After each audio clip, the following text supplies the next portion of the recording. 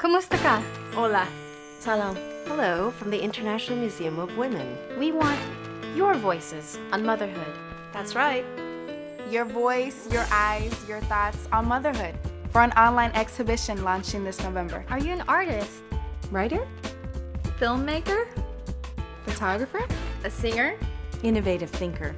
Whatever your form of expression, we want to hear your thoughts on motherhood. You might take on questions like What makes a good mother? Do I want to be a mother? Why don't people ever talk about this part of motherhood? Are you a mother? Daughter? grandparent? Son, Sister? Whatever your experience. Wherever you live in the world. We want to hear from you. A $1,000 prize goes to the best of the exhibition. Don't miss your chance to share your creative voice with the rest of the world. For more information and guidelines, visit the International Museum of Women at www.imow.org.